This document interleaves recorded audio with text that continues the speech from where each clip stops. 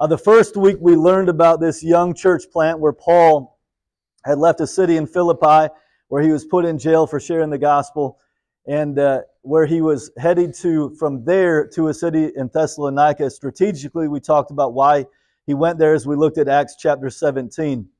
And we looked at how he reasoned in the synagogue for several days, uh, several Sabbaths, as a matter of fact, and uh, for how he shared the gospel with them and to where that young church plant started.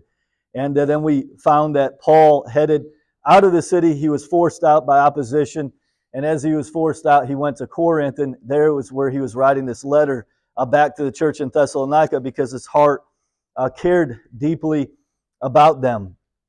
Last week, we learned that in his letter in verses 2 through 10, he focused on their work in faith, their labor of love, and their steadfastness of hope. And we talked about, he shared with them what he saw and observed in them, and he wanted to encourage them to continue uh, in that through the threat of opposition. This week, where we're headed is we're going to look in verses uh, 1 through 12 of chapter 2. We're going to see more about how Paul is going to share with them the authenticity of his faith. Uh, why he needs to do this is, is incredibly important because as he's away, of course, naturally, what the people in Thessalonica who did not want the gospel message they are going to do is they are going to try to discredit his character and his integrity. And so we're going to learn much about what it means to be an authentic Christian from of Christ and uh, what Paul's life looked like and what he writes to them and shares with them and how he encourages them uh, to press on. Why is this important for us? And I think this is important for us as a young church plant, 13 years old, as we continue to evaluate and look at the authenticity of our story. Who are we to Sunset Beach, Horry County, Brunswick County, those in which God has placed us and called us to serve and to lead? And so I think there's many questions we can self-reflect as we study as we think about and as we examine our own lives and our own authentic Christian walk as we look at Paul's walk. Uh, Sinclair Ferguson said, You begin to understand from the moment you become a Christian that you are someone who has died to sin and has been raised to newness of life.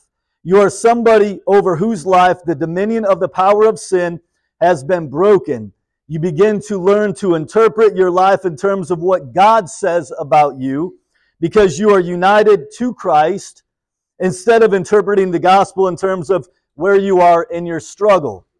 Ferguson is talking about our union with Christ, something incredibly important for us to grab hold of that Paul talked about that very first week. And as we learned a few Sundays ago, when we started in 1 Thessalonians, Paul began his letter highlighting this union as he wrote, Paul, Silvanus, and Timothy to the church of the Thessalonians in God the Father and the Lord Jesus Christ. Grace to you and peace. Paul was reminding this young church that they were in union with God the Father and the Lord Jesus Christ. And because of this, Ferguson says we must learn to interpret our life in terms of what God says about us. Paul is encouraging the Thessalonian church to look at their situation in light of this reality and not of their sufferings and their trials they're experiencing. You see, I am not a failure as a, a parent. I'm not a failure as a father. I'm not a failure as a teen. I'm not a failure with this addiction or struggle that I have. Although at times we tend to define ourselves those way, don't we? We get caught into believing we are what the world says we are, what others says we are. But those of us who are believers in Christ, who have surrendered our life to Jesus Christ, those definitions don't belong to us anymore, do they? As teens look on social media, as adults compare themselves on social media, I am not that anymore. I am a believer in Christ. I am one of God's childs. I am a new creation. And we need to remind ourselves of these things because we are, in fact, as believers in Christ, children of God. That is who He says we are. We are made in His image. And so we've got to grab hold of that truth of what that means, our union with Christ, as we walk and live in this world. Paul uses the expression in Christ, in the Lord, or in Him over 160 times in his epistles. And this is such an incredible part of Paul's theology that Ferguson says the whole of Christian life is stamped with participation in Christ. So, how does Paul live out this truth that he is in Christ, that he is a new creation? Well, as Christians, we also need to ask ourselves often this same question How do I live out this truth? How do I live out this truth that I am in Christ, that I am in union with Him? Well, let's examine this morning how Paul deals with the authenticity of his life in relation to this church in Thessalonica as we look at a few of the important character traits. If you would, open up to 1 Thessalonians chapter 2, and I'm going to read uh, from verses 1 through 12. For you yourselves know, brothers, that our coming to you was not in vain. But though we had already suffered and been shamefully treated at Philippi, as you know, we had boldness in our God to declare to you the gospel of God in the midst of much conflict.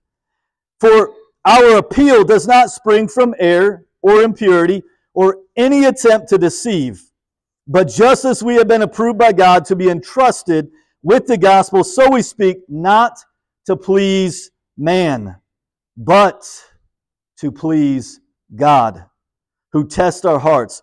For we never came with words of flattery, as you know, nor with a pretext for greed. God is witness. Nor did we seek glory from people, whether from you or from others, though we could have made demands as apostles of Christ. But we were gentle among you, like a nursing mother taking care of her own children. So, being affectionately desirous of you, we were ready to share with you not only the gospel of God, but also our own selves, because you had become very dear to us. For you remember, brothers, our labor and toil we work night and day that we might not be a burden to any of you while we proclaim to you the gospel of God. You are witnesses, and God also, how holy and righteous and blameless was our conduct toward you believers.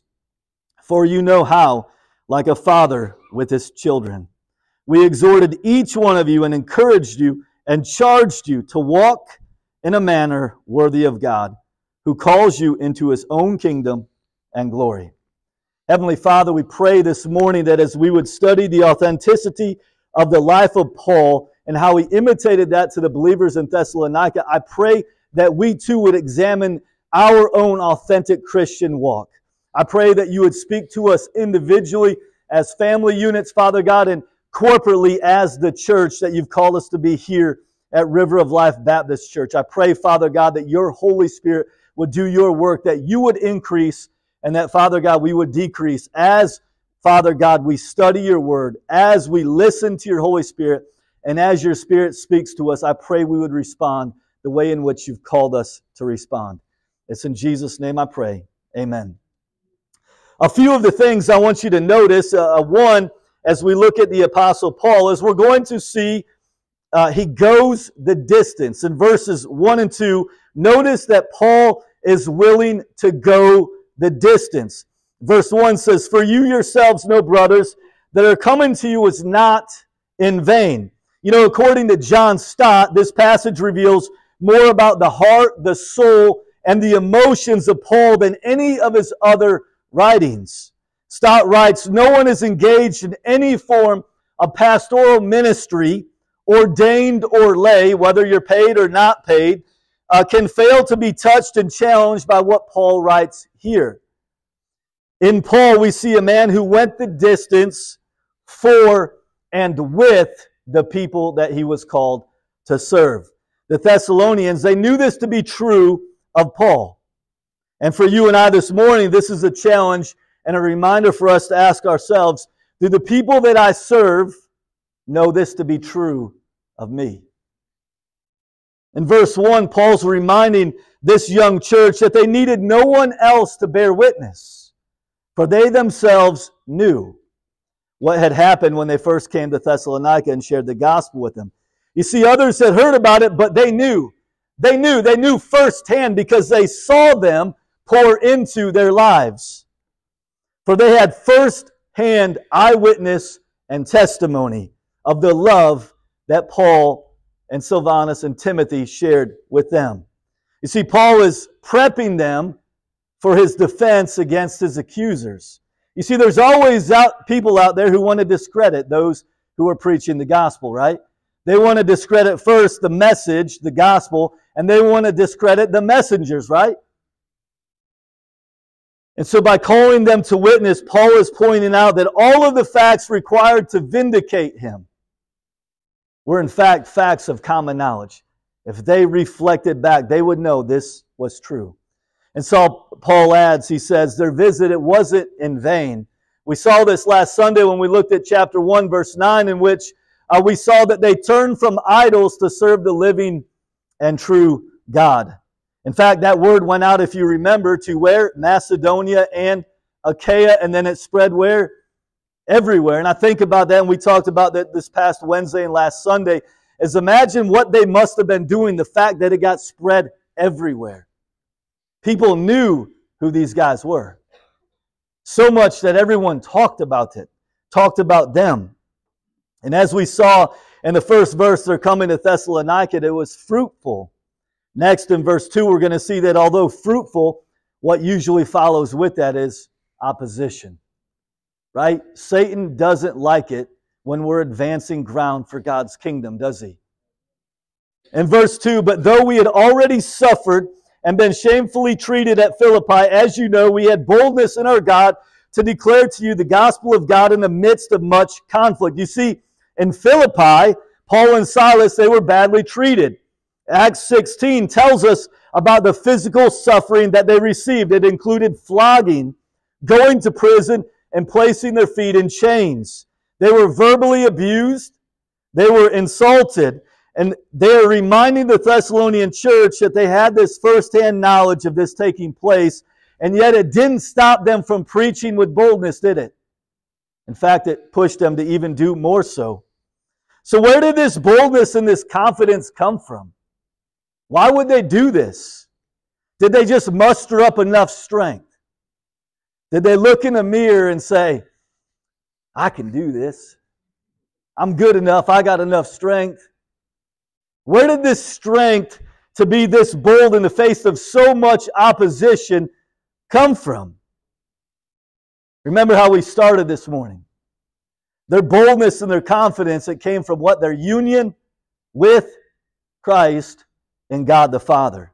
You see, those of us who are believers in Christ, we are united in Christ with God our Father.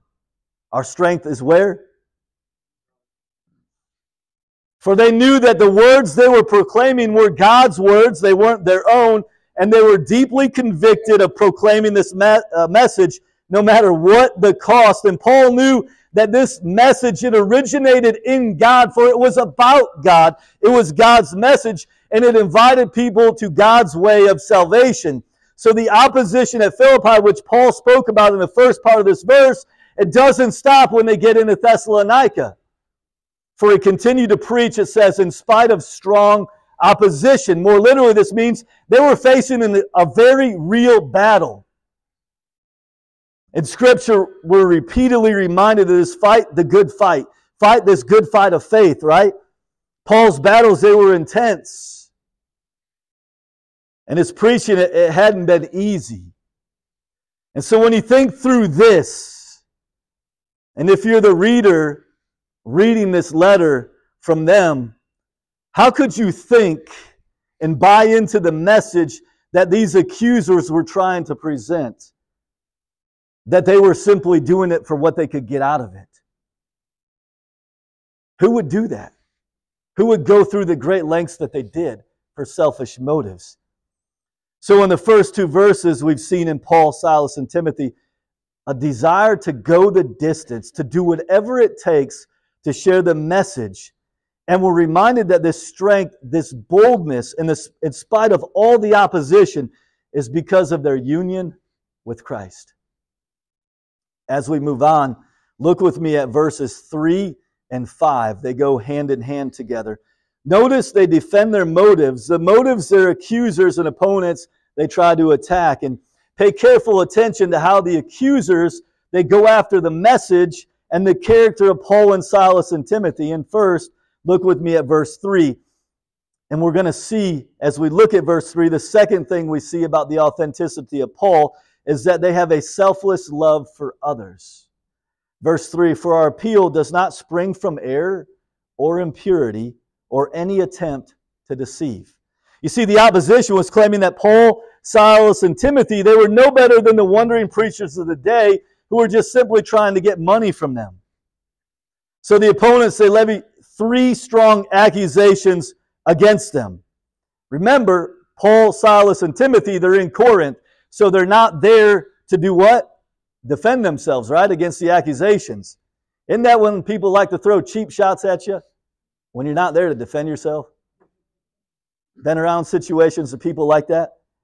And so the opponents who want to get rid of the uh, Thessalonica of the gospel message, they know they're gone, so they use this as an opportunity to attack Paul, Silas, and Timothy's character, and knowing that they're not there to defend themselves. And we see this all around us today. The first accusation against Paul was that they were preaching from error.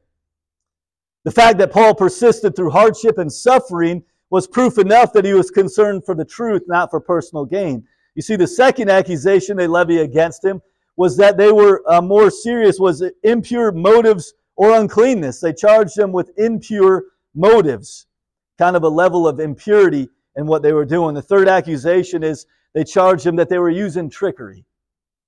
You see, the wandering sophists, the preachers of the day who were extolling money from people and who were using the gospel message to make money, they did this to try to get money from people for their own personal gain. And so they were accusing him of being just like those people. But this wasn't so with Paul, and he didn't try to trick his hearers. In verse 5, Paul begins defending against these accusations. For we never came with words of flattery, as you know, nor with a pretext for greed, for God is witness. First, he deals with flattery. Paul denies that he and his companions had made flattery their method. The Greek term has rather the idea of using fair words as a means of gaining one's own end, right? It's not you're just flattering them to tell them something good about them. It's you're trying to use words where you can benefit from it. You might tell them what they want to hear so it can benefit you. You know what I'm talking about? It's a matter of using kind of an insincerity as an instrument of policy, as a means of a way to get or persuade somebody to do one's own will. Think about how many commercials we see on TV. What are they designed to do? To get you to want their product, right? So they're going to tell you what you want to hear, but does it promise? Most of the time, no, they don't, do they? What's their gain? Their gain is for their own financial gain, right? Flattery. We see this all the time. The second charge refuted that Paul refutes is he says, uh, We did not come with uh, insincerity or bad motives. Morris says the term mask, it denotes a special pretext that conceals the real motive. Like, in a sense, they were being fake. And so it's used to putting forward something that's plausible, that might be well uh, be true in itself, but that is not the real reason for doing whatever is referred to. Like you really have a false motive behind what you're doing. So here Paul denies that evangelism had been simply a cover up or an underlying mask or, or simply a reason for greed on their end. And for they had no selfish motives, he says, in their mission. And Paul's words, they're a warning to all his readers, is that you've got to be rigorous. You've got to continually be exhaustive in your self examination. You've got to be extremely thorough to making sure that your motives are pure.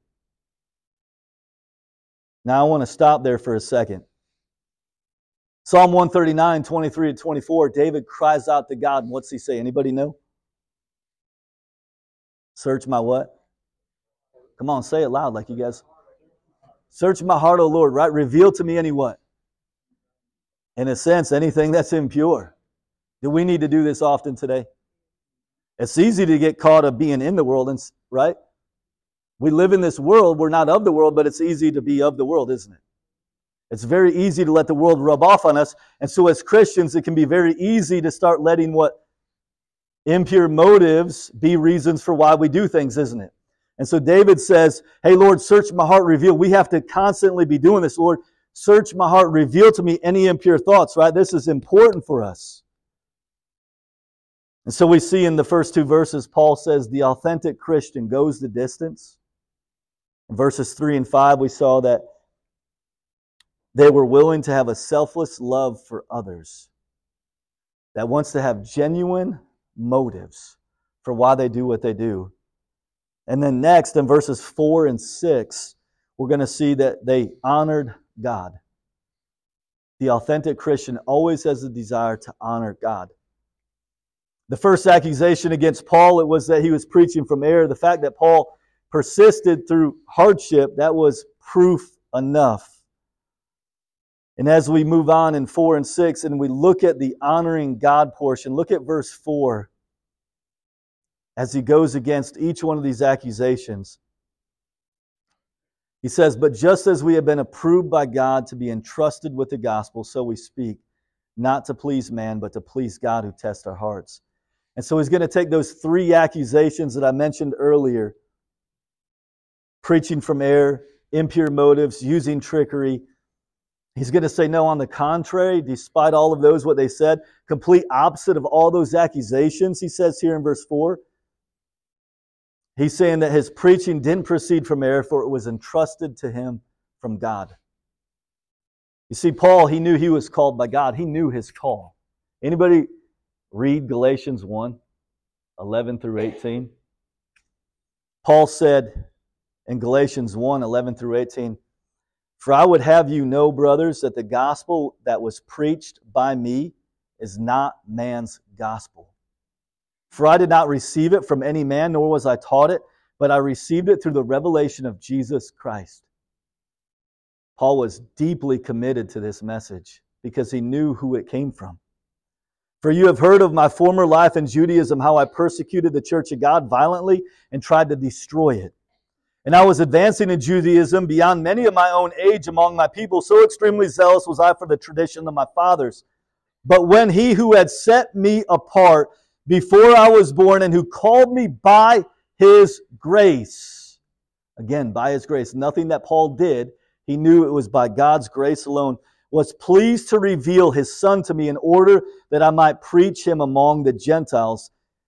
I did not immediately consult with anyone, nor did I go to Jerusalem to those who were apostles before me.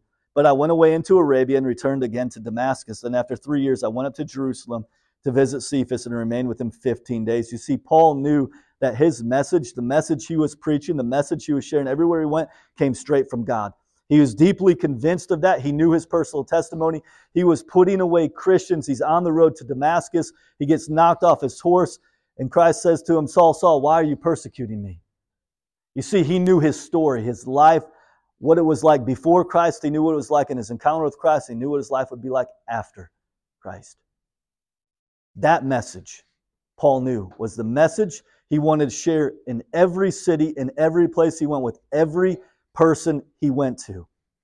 That's a man deeply committed who knows his call. And so he's refuting no, this message isn't my message.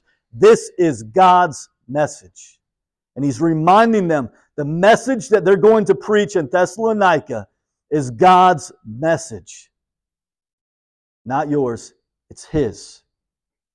Second, Paul was not impure, for he had been approved by God. He knew God approved him. I love how Leon Morris explains the meaning of approved to test. He says in the New Testament, the verb is often used in the sense of approving.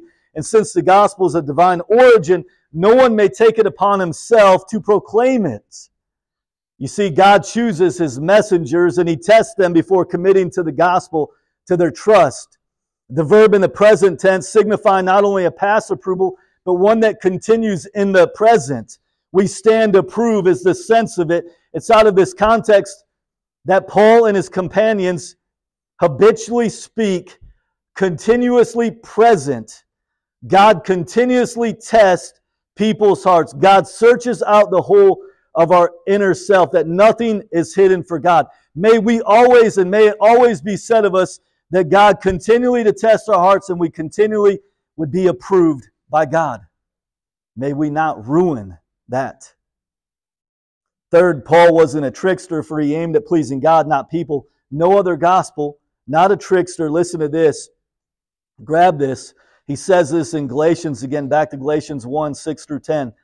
He says, I'm astonished that you are so quickly deserting him who called you in the grace of Christ and are turning to a different gospel. Not that there is another one, but there are some who trouble you and want to distort the gospel of Christ. But even if we or an angel from heaven should preach to you a gospel contrary to the one we preached to you, let him be accursed. As we have said before, and so I now say again, If anyone is preaching to you a gospel contrary to the one you received, let him be accursed. And grab verse 10. This is incredibly powerful for us. For am I now seeking the approval of man or of God? Am I trying to please man? If I were still trying to please man, I would not be a servant of Christ. Well, how do I do this? How did Paul do this? Because of my union with Christ and God the Father. I have been entrusted with the gospel message, and I am continuously approved by God, and I'm continuously tested by God. I'm reminded of Philippians 1 6, and I am sure of this that he who began a good work in you will bring it to completion until the day of what?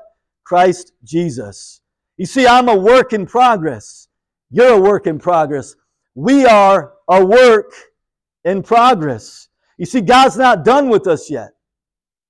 We're daily being sanctified in Christ. And so back to this Sinclair Ferguson quote from the introduction. For believers in Christ, we don't have to interpret our lives from our mistakes or failures. They don't define us, do they? But we let them. We go back into slavery and bondage into Egypt often, don't we? We let them. We are in union with Christ. We are new creations. We now interpret our lives in what God says about us. That's why it's so incredibly important for us to know what God says about us. We need that reminder constantly in us. Paul continues his defense in verse 6. He says, Nor did we seek glory from people, whether from you or from others, though we could have made demands as apostles of Christ. Paul is reinforcing their commitment to honor God, not people. He reminds them their motives were pure. Paul was sensitive to the accusation, Morris says, that he made money out of his converts, so he, he did not insist on his rights. He now reminds the Thessalonians that when he was with them, that he had refused to be a burden by taking money from them. So he worked hard and constantly, and he had been considerate to them. I'm reminded here of a phrase they could have, but they didn't. Why didn't they? Instead, what did they do? In verses 7 to 12, it says they were vulnerable. They could have insisted, they could have demanded, but they didn't. They were vulnerable. In fact, the complete opposite. Verse 7, it says, We were gentle among you like a nursing mother taking care of her own children. We were gentle.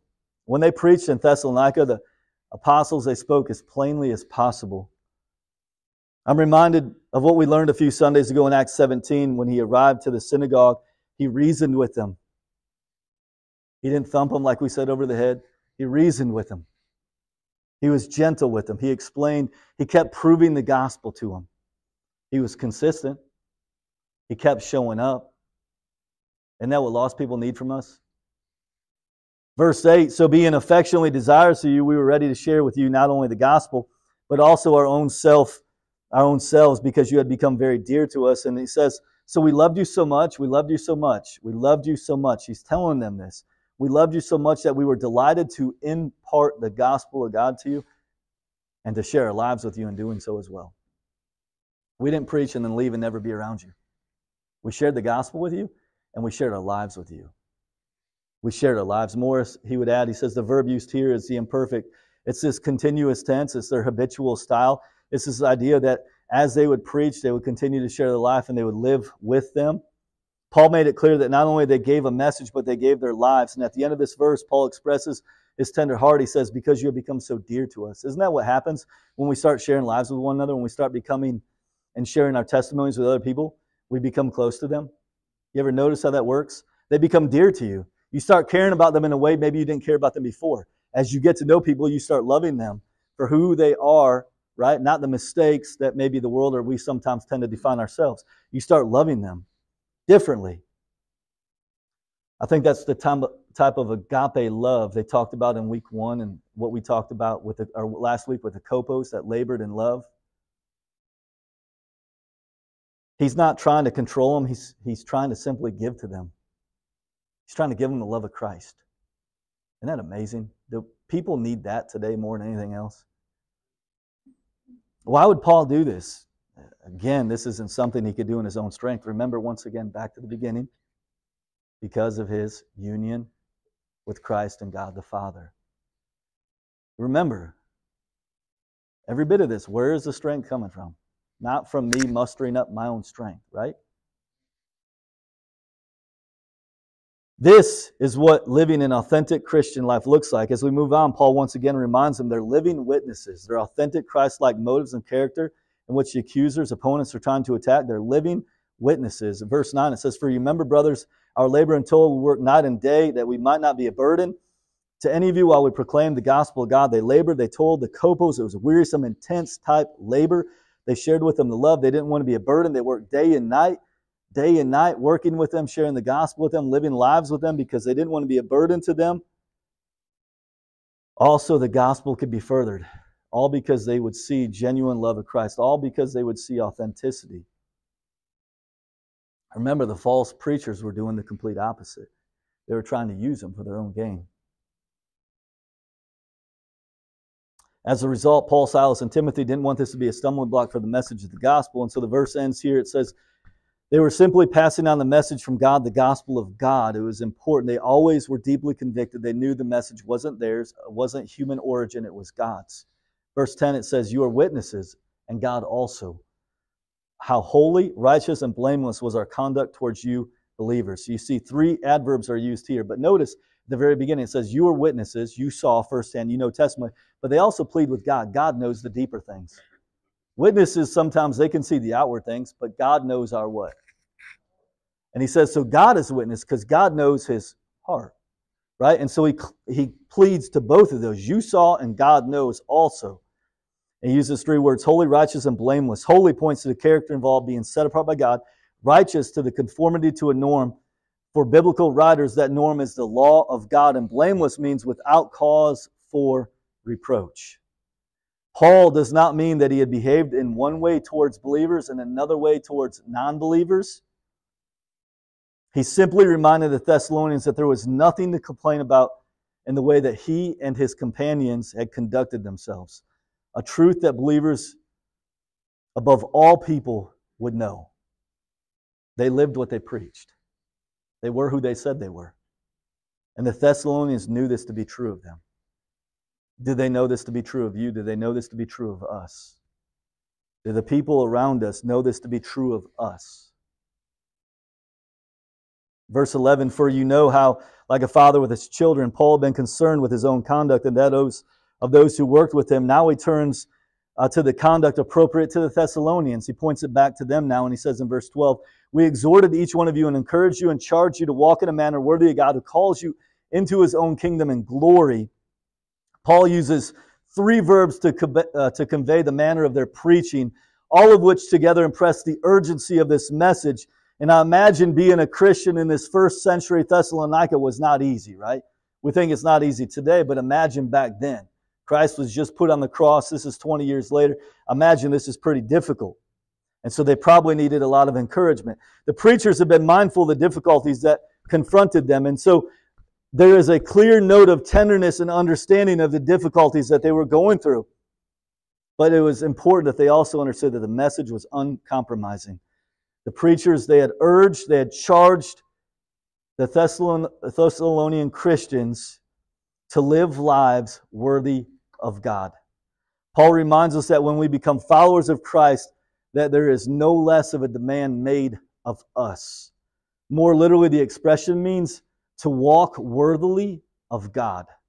With the metaphor of walking, it gives the idea of this steady progress.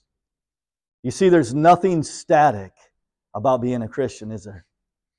You can't just sit back and ride the fence. You're always going somewhere in a direction, right? We're either going towards Him or we're going away from Him, but we're moving, make no mistake. All of the encouraging, the comforting, the urging were directed toward the aim of seeing that the Thessalonians would live lives worthy of God, or more literally, they would walk worthily of God all of their life. Isn't that our plea for us today? I pray that we continue to walk worthily of God. And Paul rapidly turns from contemplating what people should do uh, for God to what God does for them. I love how he always points back to what he does for us. And so Morris says, God calls you The use of the present tense brings home the fact that God's call, it never ceases. Paul generally uses the past tense when he's referring to the call of God, and he may use the aorist to remind us of the once for all nature of the call or the perfect to point to the fact that those called remain in the position of called ones. You see, we have assurance of our faith. We are His. No one, Satan can't snatch that, can't snatch us away from Him. And so here we see that God's call, it's always coming to us, and that it calls us to nothing less than being worthy of Him. In a sense, the kingdom is present here and now, for God is working out His purposes. There are those of us who have yielded ourselves to do His will, and maybe some of us at times we struggle to do this, but the sense of kingdom is also for futuristic. So his kingdom is to be accomplished here, but it's also futuristic, uh, futuristic that's going to come one day when Christ returns. He's going to put all of his enemies under his feet. One day he's going to return, right? Paul holds out this glorious future as the incentive for the Thessalonians. He says, Remember this, remember this, so live worthily now, because that day's coming. We've been saved by a wonderful God. They have been brought into his kingdom. They have a glorious future. So live here and now, worthy of such a God. Seneca, the Stoic philosopher who was a contemporary of Paul, recommended that people seek out for moral direction. It says, he said, Men sick who teach us by their lives, who tell us what we ought to do, and then prove it by practice, who show us what we should avoid, and then are never caught doing that which they have ordered us to avoid. This is precisely the approach of Paul to the resocialization of the Thessalonians in the Christian way of life. Are you who you say you are? Does your walk match your talk? These are questions we must ask ourselves often. As we come to a time of invitation and response, how do we respond to a message like this? Well, first, if you've never surrendered your life to Christ and you know Christ has been speaking to your heart, you respond to that free gift. If that's you and you're in here today and you've never surrendered your life to Christ, come talk to me about that. Come talk to me about that. Second, if you've never followed through with believers' baptism by immersion and you know God's been speaking to you, I know some, some have shared with me that God's been pressing on their heart. If that's you, come talk to me about that. If there's someone here who recognizes that maybe you haven't been where you need to be with a church family, you've been searching, you've been looking for a church family, but you know God's calling you, you need to be a part of a family where we can join and be a part of a church that's going to walk out and live out the truths presented in the gospel. And you know you don't want to be a spiritual orphan anymore, but you want to walk with Christ with a church family to hold you accountable in love. If that's you, respond that way. Maybe you just simply need to pray at your seat Maybe you need to simply uh, pray and ask God to forgive you in any ways in which maybe you have lost track of what it's all about. Because maybe your eyes have been on the world instead of God. However, He's calling you to respond, I just pray that you would simply do that. Maybe it's come to the altar and pray. Whatever He's telling you to do, I pray you would do that. Men, I'm going to look at you guys in the room. You know, stats are so much higher when the fathers come to Christ when the fathers live out the principles and the Christian truths, so much higher stats of the family coming to Christ.